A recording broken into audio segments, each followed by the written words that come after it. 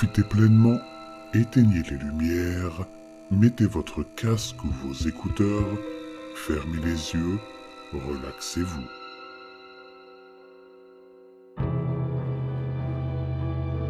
Histoire horrifique d'un garde forestier aux USA.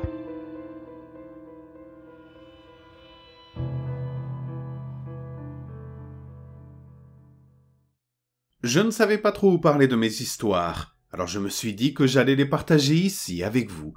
Je suis garde forestier depuis quelques années, et au fil du temps, j'ai vu des choses qui, je pense, vous intéresseront. J'ai d'assez bons antécédents en matière de recherche de personnes disparues. La plupart du temps, elles s'éloignent du sentier ou glissent le long d'une petite falaise, et elles ne peuvent pas retrouver leur chemin. La plupart de ces personnes ont entendu le vieux discours Restez où vous êtes, et elles ne s'éloignent pas beaucoup. Mais j'ai eu deux cas où cela n'a pas été le cas. Ces deux cas me dérangent beaucoup et me motivent à chercher encore plus loin dans les cas de personnes disparues pour lesquelles je suis sollicité. Dans le premier cas, il s'agissait d'un petit garçon qui était parti cueillir des baies avec ses parents. Sa sœur et lui étaient ensemble et ils ont tous deux disparu à peu près au même moment. Leurs parents les ont perdus de vue pendant quelques secondes, et pendant ce temps, les deux enfants se sont apparemment éloignés. Comme leurs parents ne les retrouvaient pas, ils nous ont appelés et nous sommes venus fouiller la région. Nous avons trouvé la fille assez rapidement. Et lorsque nous lui avons demandé où était son frère, elle nous a dit qu'il avait été emmené par l'homme ours. Elle a dit qu'il lui avait donné des baies et lui avait dit de rester tranquille, qu'il voulait jouer avec son frère pendant un moment. La dernière fois qu'elle a vu son frère, il était monté sur les épaules de l'homme ours et semblait calme. Bien sûr, notre équipe de gardes forestiers est habituée à la recherche de personnes disparues, et nous avons bien sûr pensé d'abord à un enlèvement. Mais nous n'avons jamais retrouvé la moindre trace d'un autre être humain dans cette zone. La petite fille insistait également sur le fait qu'il ne s'agissait pas d'un homme normal, mais qu'il était grand et couvert de poils comme un ours, et qu'il avait un visage bizarre. Nous avons cherché dans cette zone pendant des semaines. C'est l'un des appels les plus longs que j'ai eus. Mais nous n'avons jamais trouvé la moindre trace de cet enfant. L'autre cas est celui d'une jeune femme qui faisait de la randonnée avec sa mère et son grand-père. Selon sa mère, sa fille avait grimpé dans un arbre pour mieux voir la forêt, mais n'était jamais redescendu. Ils ont attendu au pied de l'arbre pendant des heures, en l'appelant par son nom, avant d'appeler les secours. Une fois de plus, nous avons cherché partout, mais nous n'avons jamais trouvé la moindre trace d'elle. Je n'ai aucune idée de l'endroit où elle a pu aller, car ni sa mère ni son grand-père ne l'ont vue redescendre de l'arbre. Il m'est arrivé plusieurs fois de partir seul à la recherche d'un chien, et celui-ci a essayé de me mener tout droit en haut des falaises. Pas des collines, ni même des parois rocheuses, des falaises droites et abruptes, sans aucune prise possible. C'est toujours déconcertant et dans ces cas-là, nous retrouvons généralement la personne de l'autre côté de la falaise, ou à des kilomètres de l'endroit où le chien nous a conduits. Je suis sûr qu'il y a une explication, mais c'est assez étrange. Un autre cas particulièrement triste concerne la récupération d'un corps. Une fillette de 9 ans était tombée d'un talus et s'était empalée sur un arbre mort à la base. C'était un accident complètement bizarre, mais je n'oublierai jamais le bruit qu'a fait sa mère lorsque nous lui avons raconté ce qui s'était passé. Elle a vu le sac mortuaire chargé dans l'ambulance et a poussé le cri le plus obsédant et le plus déchirant que j'ai jamais entendu. C'était comme si toute sa vie s'effondrait autour d'elle, et qu'une partie d'elle était morte avec sa fille. Un autre officier, garde forestier, m'a dit qu'elle s'était suicidée quelques semaines après les faits. Elle ne pouvait pas vivre avec la perte de sa fille. Autre anecdote. J'ai fait équipe avec un autre agent de recherche et de sauvetage parce qu'on nous avait signalé la présence d'ours dans la région. Nous étions à la recherche d'un homme qui n'était pas rentré à temps d'une excursion d'escalade. Et nous avons dû faire de l'escalade pour arriver à l'endroit où nous pensions qu'il se trouverait. Nous l'avons trouvé coincé dans une petite crevasse avec une jambe cassée. Ce n'était pas très agréable. Il était là depuis presque deux jours et sa jambe était manifestement complètement infectée. Nous avons pu le faire monter dans un hélicoptère, et l'un des secouristes m'a dit que cet homme était absolument inconsolable. Il n'arrêtait pas de dire qu'il se débrouillait bien, et lorsqu'il est arrivé au sommet, un homme s'y trouvait. Il a dit que l'homme n'avait pas d'équipement d'escalade, et qu'il portait une parka et un pantalon de ski. Il s'est approché du gars et quand celui-ci s'est retourné, il a dit qu'il n'avait pas de visage. Il n'y avait rien sur son visage. Il a paniqué et a fini par essayer de descendre trop vite de la montagne, ce qui explique sa chute. Il a dit qu'il avait entendu le gars toute la nuit, descendant de la montagne et poussant d'horribles cris étouffés. Cette histoire m'a fait froid dans le dos. Je suis heureux de ne pas avoir été là pour l'entendre. L'une des choses les plus effrayantes qui me soit arrivée concernait la recherche d'une jeune femme qui s'était séparée de son groupe de randonneurs. Nous sommes restés dehors jusqu'à tard dans la nuit, car les chiens avaient repéré son odeur. Lorsque nous l'avons trouvée, elle était recroquevillée sous un gros tronc pourri. Il lui manquait ses chaussures et son sac, et elle était manifestement en état de choc. Elle n'était pas blessée et nous avons réussi à la faire marcher avec nous jusqu'à la base. En chemin, elle n'a cessé de regarder derrière nous et de nous demander pourquoi ce grand homme aux yeux noirs nous suivait. Comme nous ne voyions personne, nous avons considéré qu'il s'agissait d'un étrange symptôme de choc. Mais plus nous nous approchions de la base, plus cette femme s'agitait. Elle me demandait sans cesse de lui dire d'arrêter de lui faire des grimaces. À un moment donné, elle s'est arrêtée, s'est retournée et a commencé à crier dans la forêt, disant qu'elle voulait qu'il la laisse tranquille. Elle ne voulait pas aller avec lui, disait-elle, elle ne voulait pas nous donner à lui. Nous avons finalement réussi à la faire avancer, mais nous avons commencé à entendre des bruits bizarres autour de nous. C'était presque comme une toux, mais plus rythmée et plus profonde. Cela ressemblait à un insecte. Je ne sais pas comment le décrire autrement. Lorsque nous nous sommes trouvés à proximité de la base, la femme s'est tournée vers moi, et ses yeux étaient complètement écarquillés.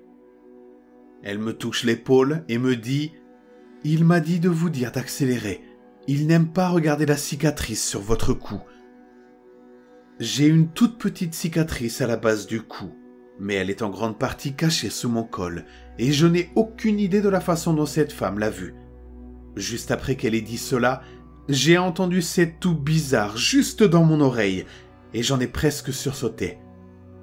J'ai essayé de ne pas montrer à quel point j'étais effrayé, mais je dois dire que j'étais vraiment heureux lorsque nous avons quitté cette zone ce soir-là. Laissez-moi maintenant vous parler d'un autre fait. Comme je vous l'ai expliqué, je suis garde forestier, et les gardes forestiers aux États-Unis travaille beaucoup dans la récupération de personnes disparues. Je ne sais pas si c'est le cas dans toutes les unités de gardes forestiers, mais dans la mienne, il y a une sorte de chose non dite qui se produit régulièrement. Je pourrais en parler à d'autres agents, à d'autres gardes forestiers d'autres forêts aux États-Unis, mais même s'ils savent de quoi je parle, ils ne diront probablement rien à ce sujet. Nos supérieurs nous ont dit de ne pas en parler, et à ce stade, nous y sommes tellement habitués que cela ne nous semble même plus bizarre. En fait, chaque fois que nous nous enfonçons dans la nature, sur une distance de 30 ou 40 km, nous trouvons un escalier au milieu des bois. C'est un peu comme si vous preniez les escaliers de votre maison, que vous les découpiez et que vous les posiez dans la forêt. La première fois que j'en ai vu, j'ai posé des questions et l'autre garde m'a dit de ne pas m'inquiéter, que c'était normal. Tous ceux à qui j'ai posé la question ont dit la même chose. Je voulais aller les voir, ces escaliers, mais on m'a dit de manière très catégorique que je ne devais jamais m'en approcher. Aujourd'hui encore, j'ignore ces escaliers, et je fais en sorte de ne pas les voir quand je les croise, mais ça arrive tellement souvent. Revenons à nos moutons. En ce qui concerne les personnes disparues, je dirais qu'environ la moitié des appels que je reçois y sont liés. Les autres sont des appels de sauvetage, des personnes qui tombent d'une falaise et se blessent. qui sont blessés par le feu. Vous n'imaginez même pas à quel point ça arrive souvent, surtout avec des adolescents ivres, ou qui sont mordus ou piqués par des animaux ou des insectes. Nous formons une équipe soudée, et nous avons des vétérans qui sont excellents pour trouver des signes de personnes perdues. C'est ce qui rend si frustrant les cas où nous ne trouvons aucune trace de ces personnes. L'un d'entre eux a été particulièrement pénible pour nous tous, car nous en avons retrouvé la trace, mais cela a soulevé plus de questions que de réponses. Un homme âgé avait fait une randonnée seul sur un sentier bien établi, mais sa femme l'a appelé pour lui dire qu'il n'était pas rentré à la maison à l'heure prévue. Apparemment, il avait des antécédents de crise d'épilepsie, et elle craignait qu'il n'ait pas pris ses médicaments et qu'il en ait eu une sur le sentier. Avant que vous ne posiez la question, je n'ai aucune idée de la raison pour laquelle il pensait qu'il pouvait sortir seul, ni de la raison pour laquelle elle ne l'a pas accompagné. Je ne pose pas ce genre de questions parce qu'à partir d'un certain point, cela n'a plus d'importance. Quelqu'un a disparu et c'est mon travail de le retrouver. Nous sommes partis en formation de recherche standard et il n'a pas fallu longtemps à l'un de nos vétérans pour trouver des signes indiquant que le gars avait quitté la piste. Nous nous sommes regroupés et l'avons suivi, en nous déployant en éventail pour couvrir le plus de terrain possible. Soudain, un appel est passé par la radio, nous demandant de retourner tous à l'emplacement d'un secouriste. Et nous sommes venus immédiatement, car cela signifie généralement que la personne disparue est blessée et nous avons besoin d'une équipe complète pour l'aider à s'en sortir en toute sécurité. Nous nous retrouvons tous et le secouriste se tient au pied d'un arbre, les mains sur les côtés de la tête. Je demande à mon ami ce qui se passe et il me montre les branches de l'arbre. Je n'arrivais pas à croire ce que je voyais, mais il y avait un bâton de marche qui pendait d'une branche à au moins 20 mètres du sol. La petite sangle du manche s'est enroulé autour de la branche et reste suspendu. Il est impossible que le gars ait pu la lancer aussi loin, et nous ne voyons aucun signe indiquant qu'il est encore dans la région. Nous appelons vers l'arbre, mais il est évident qu'il n'y a personne dedans. Nous sommes tous en train de nous gratter la tête. Nous continuons à chercher le gars, mais nous ne le trouvons jamais. Nous sortons même nos chiens, mais ils perdent son odeur bien avant celle de l'arbre. Finalement, les recherches sont interrompues, car nous devons répondre à d'autres appels et passer un certain point, il n'y a plus grand-chose à faire. La femme de l'homme nous a appelés tous les jours pendant des mois, demandant si nous avions retrouvé son mari, et c'était déchirant de l'entendre se désespérer de plus en plus à chaque fois. Je ne sais pas exactement pourquoi cet appel en particulier a été si bouleversant, mais je pense que c'est simplement parce qu'il était tout à fait improbable. Cela est bien sûr les questions qui ont été soulevées. Comment la canne de ce type avait-elle pu se retrouver là? Est-ce que quelqu'un l'a tué? Et l'a jeté là comme un trophée bizarre Nous avons fait de notre mieux pour le retrouver, mais c'était presque comme une provocation. Nous en parlons encore de temps en temps. Les disparitions d'enfants sont les plus déchirantes. Quelles que soient les circonstances dans lesquelles ils disparaissent, ce n'est jamais facile, et nous redoutons toujours, toujours ce que nous retrouvons décédé. Ce n'est pas courant, mais ça arrive. David Paulides parle beaucoup des enfants que les équipes de recherche et de sauvetage retrouvent dans des endroits où ils ne devraient pas être, ou ne pourraient pas être. Je peux honnêtement dire que j'ai plus souvent entendu parler de ce genre de choses que je n'en ai vu. Mais je vais vous faire part d'un cas auquel je pense beaucoup, et dont j'ai été personnellement témoin. Une mère et ses trois enfants étaient en train de pique-niquer dans une zone du parc où se trouve un petit lac. L'un d'eux a 6 ans, l'autre 5 et le troisième environ 3 ans. Elle les surveille de très près et selon ses dires, ne les perd jamais de vue. Elle n'a jamais vu personne d'autre dans la région non plus, ce qui est important dans l'histoire. Elle emballe leurs affaires et ils commencent à retourner à l'aire de stationnement. Ce lac n'est qu'à 3 km dans les bois, et il se trouve sur un sentier très bien tracé. Il est pratiquement impossible de se perdre entre le parking et le lac, à moins de sortir délibérément du sentier comme un imbécile. Ses enfants marchent devant elle, lorsqu'elle entend ce qui ressemble à quelqu'un qui remonte le sentier derrière elle. Elle se retourne, et pendant les quelques quatre secondes où elle ne regarde pas, son fils de cinq ans disparaît. Elle pense qu'il a quitté le sentier pour faire pipi ou quelque chose comme ça, et elle demande à ses deux autres fils où il est allé. Ils lui répondent tous les deux qu'un grand homme au visage effrayant est sorti des bois à côté d'eux, a pris la main de l'enfant et l'a entraîné dans les arbres. Les deux autres enfants n'ont pas l'air bouleversés. En fait, elle dira plus tard qu'il semble qu'ils aient été drogués. Ils sont en quelque sorte dans l'espace et dans le flou. Alors bien sûr, elle panique et se met à chercher frénétiquement son enfant dans les environs. Elle crie son nom et à un moment donné, elle pense l'avoir entendu lui répondre. Il est évident qu'elle ne peut pas courir à l'aveuglette dans les bois. Elle a les deux autres enfants. Alors, elle appelle la police qui nous envoie immédiatement. Tout au long de cette recherche, qui s'étend sur des kilomètres, nous ne trouvons pas la moindre trace de l'enfant. Les chiens ne détectent aucune odeur. Nous ne trouvons aucun vêtement, aucun buisson cassé ou quoi que ce soit qui puisse indiquer la présence d'un enfant. Bien sûr, on soupçonne la mère pendant un certain temps, mais il est clair qu'elle est complètement détruite par toute cette histoire. Nous avons cherché cet enfant pendant des semaines, avec l'aide de nombreux bénévoles mais les recherches finissent par s'essouffler et nous devons passer à autre chose. Les bénévoles poursuivent les recherches et un jour, nous recevons un appel à la radio nous informant qu'un corps a été retrouvé et qu'il doit être récupéré. Il nous indique l'endroit, mais aucun d'entre nous ne peut y croire. Nous nous disons qu'il doit s'agir d'un autre enfant. Mais nous nous rendons sur place, à une quinzaine de kilomètres de l'endroit où il a disparu et nous trouvons le corps de l'enfant que nous cherchions. Depuis que nous l'avons trouvé, j'ai essayé de comprendre comment ce gamin s'était retrouvé là où il était, mais je n'ai jamais trouvé de réponse. Un bénévole se trouvait par hasard dans la région, car il s'est dit qu'il pouvait aussi bien chercher dans des endroits où personne d'autre ne penserait à le faire, au cas où le corps aurait été jeté.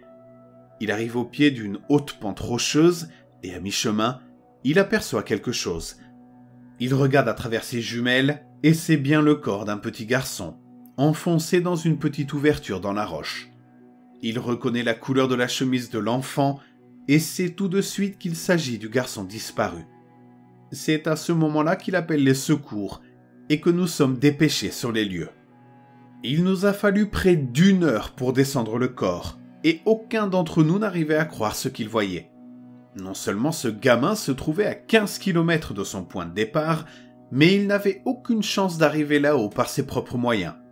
Cette pente est traîtresse, et c'est difficile même pour nous avec notre équipement d'escalade de haute qualité. Un enfant de 5 ans n'avait aucun moyen de monter là-haut, j'en suis certain. En plus, il n'a pas une seule égratignure. À ses pieds, il n'a ni chaussures ni chaussettes mais il n'a pas une seule égratignure. Ses pieds ne sont ni abîmés ni sales. Ce n'est donc pas comme si un animal l'avait traîné là-haut. Et d'après ce que nous savons, il n'est pas mort depuis longtemps. Il était là depuis plus d'un mois à ce moment-là, et il semblait qu'il n'était mort que depuis un jour ou deux, tout au plus. Tout cela était incroyablement étrange et a été l'un des appels les plus déconcertants auxquels j'ai participé.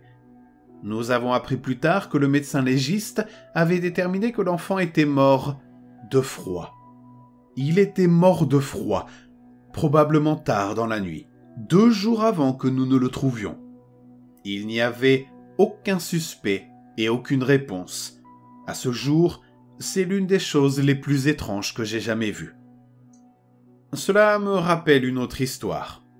L'une de mes premières missions en tant que stagiaire était une opération de recherche d'un enfant de 4 ans qui avait été séparé de sa mère. C'est l'un de ces cas où nous savions que nous allions le trouver parce que les chiens suivaient une piste odorante très forte et que nous avions vu des signes clairs qu'il était dans la région. Nous avons fini par le trouver dans une parcelle de baie à environ 800 mètres de l'endroit où il avait été vu pour la dernière fois. Le petit n'était même pas conscient qu'il avait parcouru une telle distance. C'est l'un des secouristes qui l'a ramené, ce qui m'a fait plaisir car je ne suis vraiment pas doué avec les enfants, et j'ai du mal à leur parler et à leur tenir compagnie. Alors que ma formatrice et moi sommes sur le chemin du retour, elle décide de me faire faire un détour pour me montrer l'un des points chauds, où nous avons tendance à trouver des personnes disparues. Il s'agit d'un creux naturel près d'un sentier populaire, et les gens descendent généralement la pente parce que c'est plus facile. Nous nous y rendons à pied, à quelques kilomètres de là, et nous y arrivons en une heure environ. Alors que nous marchons dans la région et qu'elle nous indique des endroits où elle a trouvé des gens par le passé, je vois quelque chose au loin. La zone où nous nous trouvons est à environ 8 km du parking principal. Mais il y a des routes secondaires que l'on peut emprunter pour se rapprocher si l'on ne veut pas marcher aussi loin. Mais nous sommes sur des terres protégées par l'État, ce qui signifie qu'il ne peut y avoir aucun développement commercial ou résidentiel ici. Tout au plus, verrez-vous une tour d'incendie ou un abri de fortune que des sans-abri pensent pouvoir construire en toute impunité. Mais je peux voir d'ici que cette chose a des bords droits. Et s'il y a une chose que l'on apprend rapidement, c'est que la nature fait rarement des lignes droites. Je lui fais remarquer, mais elle ne dit rien. Ma formatrice reste en retrait et me laisse aller voir ce qu'il en est. J'arrive à une quinzaine de mètres, et tous les poils de ma nuque se dressent. C'est un escalier, au milieu de cette putain de forêt. Dans le contexte approprié, ce serait littéralement la chose la plus bénigne qui soit. C'est un escalier normal, comme je vous en ai parlé tout à l'heure, avec une moquette beige et des dizaines de marches. Mais au lieu d'être dans une maison, comme il devrait l'être, il est ici, au milieu des bois. Les côtés ne sont pas recouverts de moquettes, évidemment, et je peux voir le bois dont il est fait. L'escalier presque comme un glitch de jeu vidéo ou une backroom, où la maison n'a pas réussi à se charger complètement, et où les escaliers sont la seule chose visible. Je reste là, et c'est comme si mon cerveau faisait des heures supplémentaires pour essayer de donner un sens à ce que je vois. Ma formatrice vient se placer à côté de moi et elle reste là nonchalamment, à le regarder comme si c'était la chose la plus inintéressante au monde.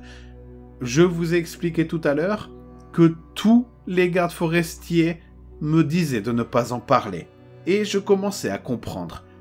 Je lui demande quand même pourquoi cette chose est là, et elle se contente de rire. Elle me dit qu'il faut s'y habituer, et que je vais en voir beaucoup. Je commence à me rapprocher des escaliers, mais elle m'attrape le bras soudainement. Durement. Je ne ferai pas ça, dit-elle. Sa voix est décontractée, mais sa poigne est ferme, et je reste là à la regarder. Elle me dit que je vais les voir tout le temps, mais que je ne dois jamais m'en approcher. Je ne dois pas les toucher, je ne dois pas monter dessus, je dois complètement ignorer ces putains d'escaliers. Je commence à lui poser des questions, mais quelque chose dans la façon dont elle me regarde me dit qu'il vaut mieux que je ne le fasse pas. Nous finissons par passer à autre chose, et le sujet ne reviendra plus pendant le reste de ma formation. Mais elle avait raison. Je dirais qu'environ tous les cinq appels, je finis par tomber sur ces escaliers. Parfois, ils sont relativement proches du chemin, peut-être à un ou deux kilomètres. Parfois, il se trouve à 20 ou 30 km, littéralement au milieu de nulle part, et je ne les trouve que lors des recherches les plus larges ou pendant les week-ends d'entraînement dans des lieux très éloignés. Ils sont généralement en bon état, mais on a parfois l'impression qu'ils sont là depuis des années. Il y en a de toutes sortes et de toutes tailles. Les plus grands que j'ai jamais vus semblaient sortir d'un manoir du début du siècle et mesuraient au moins 3 à 4 mètres de large, avec des marches d'au moins 15 ou 20 mètres de haut. J'ai bien sûr essayé d'en parler aux gens, mais ils me donnent la même réponse que ma formatrice. C'est normal. Ne t'inquiète pas, ce n'est pas grave, ne t'en approche pas, ne monte pas dessus. Lorsque les stagiaires me posent des questions à ce sujet, eh bien, je leur donne la même réponse. Je ne sais pas vraiment quoi leur dire d'autre. Je n'en sais pas plus qu'eux. J'espère vraiment qu'un jour j'aurai une meilleure réponse, mais ce n'est pas encore le cas.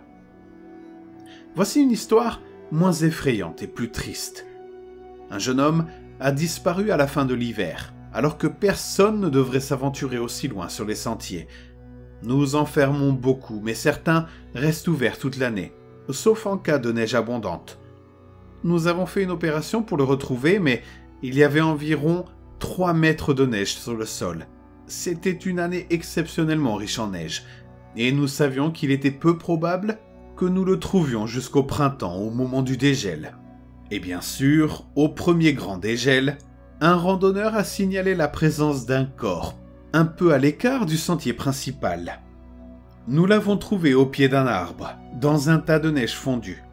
J'ai tout de suite compris ce qui s'était passé et cela m'a fait froid dans le dos.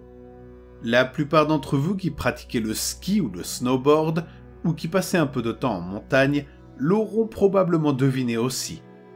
Lorsque la neige tombe, elle s'accumule moins sous les branches. C'est surtout le cas des sapins, car ils ont une sorte de forme de parapluie fermée.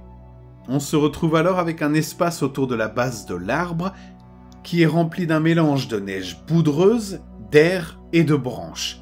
C'est ce qu'on appelle les puits de sapin, et ils ne sont pas immédiatement évidents si l'on ne sait pas ce que l'on cherche. Nous avons placé des panneaux dans le centre d'accueil, de grands panneaux, pour informer les gens du danger qu'ils représentent. Mais chaque année où nous avons une quantité inhabituelle de neige, au moins une personne ne les lit pas ou ne prend pas l'avertissement au sérieux, et nous la prenons au printemps. À mon avis, ce jeune homme faisait de la randonnée et s'est fatigué, ou a peut-être eu une crampe en marchant dans la neige profonde. Il est allé s'asseoir au pied de l'arbre sans savoir qu'il y avait un puits, et il est tombé dedans. Il est resté coincé, les pieds en l'air, et la neige environnante s'est effondrée autour de lui. Incapable de se dégager, il a suffoqué. C'est ce qu'on appelle l'asphyxie par immersion dans la neige, et cela ne se produit généralement que dans la neige très épaisse. Mais si vous restez coincé dans une position bizarre, comme l'a fait cet homme, même un mètre cinquante de neige peut être mortel. Ce qui m'a le plus effrayé, c'est d'imaginer comment il a dû se débattre. À l'envers, dans le froid glacial, il n'est pas mort rapidement. La neige aurait formé un amas dense et lourd sur lui, et il aurait été littéralement impossible de sortir. Au fur et à mesure que sa respiration devenait plus difficile, il aurait compris ce qui se passait. Je ne peux même pas imaginer ce qu'il a pensé dans ces derniers instants. Bref, passons à autre chose. Beaucoup de mes amis moins amateurs d'activités de plein air veulent savoir si j'ai déjà vu l'homme chèvre alors que j'étais en déplacement. Je crois qu'on le connaît également sous le nom de Aiguipan. Malheureusement, ou plutôt heureusement, cela ne m'est jamais arrivé. Le cas le plus proche a été celui de l'homme aux yeux noirs, mais je n'ai rien vu personnellement. Cependant, il y a eu un appel où il s'est passé quelque chose de similaire, mais je ne suis pas sûr de vouloir le mettre sur le compte de l'homme chèvre et On nous a signalé qu'une femme âgée s'était évanouie sur l'un des sentiers, et qu'elle avait besoin d'aide pour redescendre dans la zone principale. Nous marchons jusqu'à l'endroit où elle se trouve, et son mari est hors de lui. Il nous raconte qu'il était un peu à l'écart du sentier en train de regarder quelque chose, quand sa femme s'est mise à crier derrière lui. Il court vers elle, et elle s'est évanouie sur le sentier. Nous l'installons sur une planche dorsale, et alors que nous l'emmenons au centre d'accueil, elle revient à elle et commence à crier. Je la calme et lui demande ce qui s'est passé. Je ne me souviens pas mot pour mot ce qu'elle a dit, mais voici ce qui s'est passé. Elle attendait son mari lorsqu'elle a commencé à entendre un bruit étrange. Elle a dit que le son ressemblait à celui d'un chat, mais qu'il était un peu différent, et qu'elle n'arrivait pas à comprendre pourquoi. Elle a avancé un peu pour essayer de mieux l'entendre, et elle a eu l'impression qu'il se rapprochait. Elle a dit que plus le son se rapprochait, plus elle était mal à l'aise, jusqu'à ce qu'elle comprenne enfin ce qui n'allait pas. Je me souviens de la suite, parce que c'était tellement bizarre que je ne pense pas que je pourrais oublier si j'essayais, disait-elle. Laissez-moi vous retranscrire la suite de son explication. Voici ce qu'elle a dit. Ce n'était pas un chat. C'était un homme qui disait le mot miaou encore et encore. Juste miaou, miaou, miaou. Mais ce n'était pas un homme. Ce n'était pas possible parce que je n'ai jamais entendu un homme faire vibrer sa voix comme ça. J'ai cru que mon appareil auditif tombait en panne, mais ce n'était pas le cas. Je l'ai ajusté et il sonnait toujours aussi bourdonnant. C'était affreux. Il se rapprochait mais je ne le voyais pas. Plus il se rapprochait, plus j'avais peur. Et la dernière chose dont je me souvienne, c'est une forme qui sortait des arbres. Je crois que c'est à ce moment-là que je me suis évanoui. Évidemment, moi, en tant que garde forestier, je suis un peu perplexe quant à la raison pour laquelle un homme se trouverait dans ces putains de bois en chantant miaou miaou à des gens.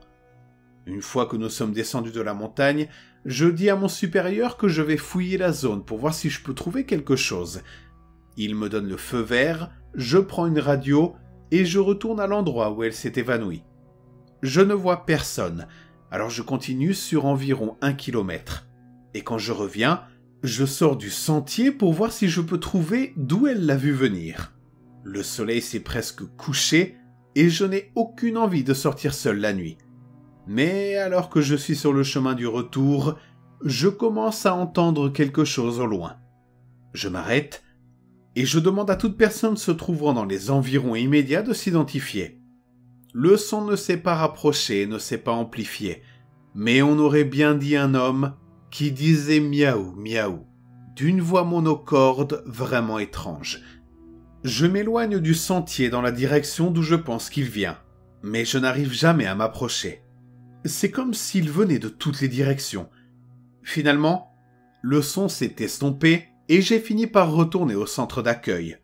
Je n'ai pas eu d'autres rapports de ce genre, et même si je suis retourné dans cette zone, je n'ai plus jamais entendu le même son. Je suppose qu'il s'agit peut-être d'un gamin stupide qui se moque des gens, mais même moi, je dois admettre que c'était vraiment bizarre.